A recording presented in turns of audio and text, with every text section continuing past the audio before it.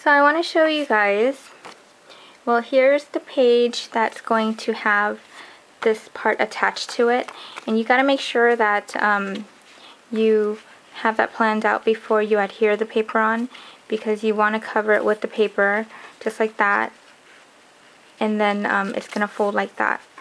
Then you're going to cut out um, the same dimensions of this part here and adhere that on top. So that's what I'm going to show you here, how to do that. So you just take your ATG gun and then you gotta make sure that you're at the edge. Now I have a hard time using the ATG gun, I still need to practice some more. But sometimes it works perfectly for me and then sometimes it, you know, the glue starts balling up with the, the tape here.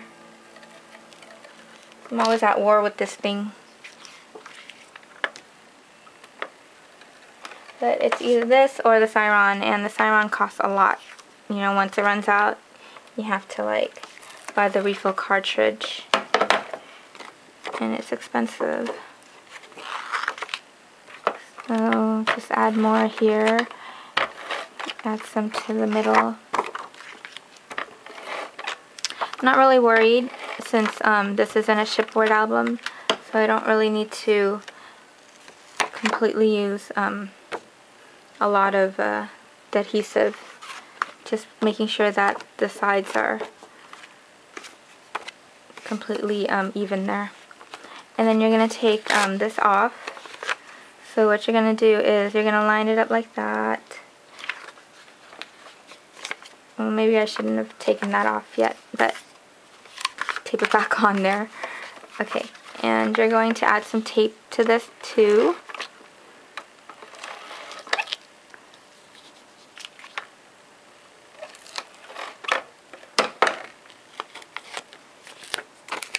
Okay.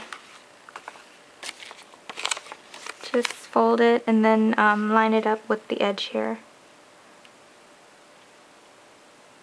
Now you can go ahead and do this to all the pages first where you want the pocket, just so you don't forget. You take that out. And then after that you adhere your paper, making sure that the pattern goes where it's supposed to. Okay, so this here, that's about right. Okay, and then you just line it up where the edge here is already here and see.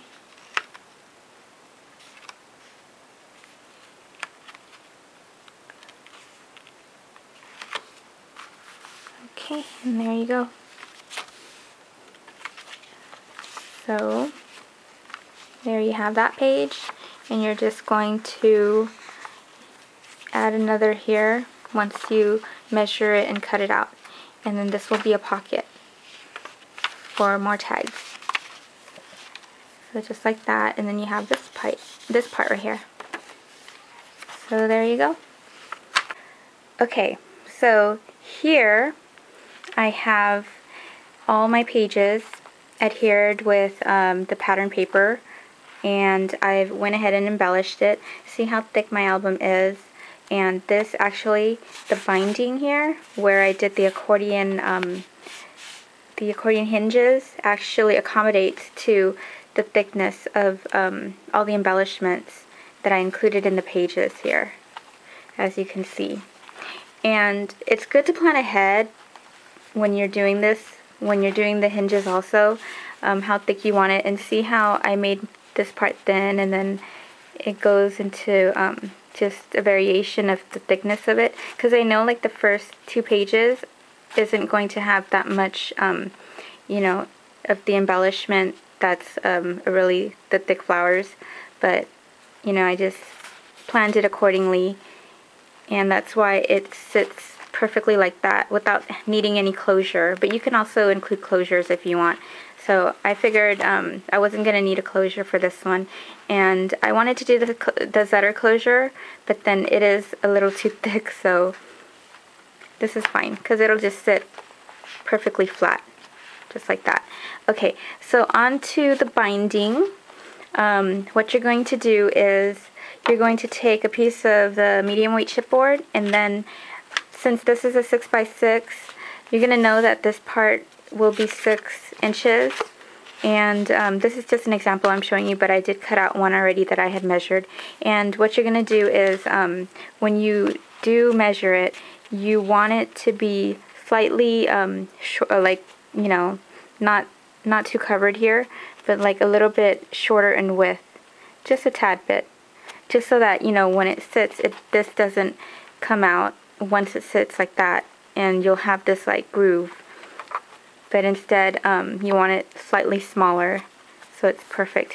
And with the chipboard I went ahead and I had covered it with paper because um, you want you know like if you don't cover it then when you open it you'll end up seeing it on the bottom here. Just like if I was to use just this bare chipboard you'll see it once you open up the pages. Since this is an accordion hinge it'll just you know you'll end up seeing it. That's why it's better to just cover it. So I covered it and then with the mulberry paper what you're going to do is you measure it accordingly on how much you want how much you want it to um, cover the front part. And I don't want it too much so I just did like about an inch and a half just because um, the frame that I'm using I don't want it to overlap. So it'll just fit perfectly here. And this is how it would look like. So when you cover your chipboard the ugly piece here will go in the back here adhere to this. And then you put red line tape here and red line tape here. And then you just go ahead and adhere it all together. And then you'll have a perfect binding just like that